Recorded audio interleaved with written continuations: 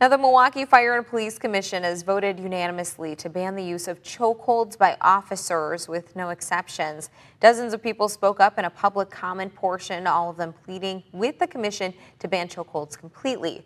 Commissioners clarified they meant to do this back in December, but then realized a life or death exception still remained in the policy.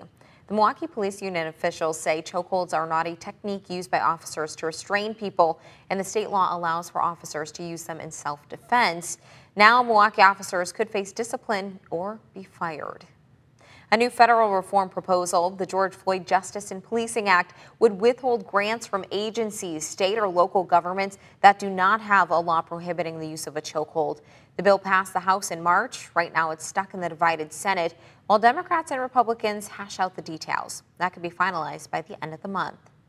Taking a look at how police practices could be changing in Wisconsin, last month Governor Evers' Racial Disparities Task Force issued some recommendations for police officers, but did not call for a total ban of chokeholds.